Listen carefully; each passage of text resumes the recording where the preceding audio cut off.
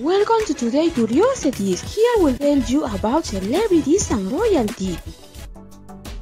King Felipe and Letizia are already in London to attend the coronation ceremonies for King Charles. They arrived at the Spanish Embassy, the official residence of the King and Queen of Spain in London. Later, Felipe and Letizia left the embassy for Buckingham Palace, where Charles has organized a welcome reception for members of the European royal houses who have traveled to the coronation. On the day of the coronation, Saturday, May 6th, in the morning, a bus will pick them up at the meeting point for members of the royal families. They will all go together to Westminster Abbey, where the European royal families will take pride of place in the front rows to follow the coronation.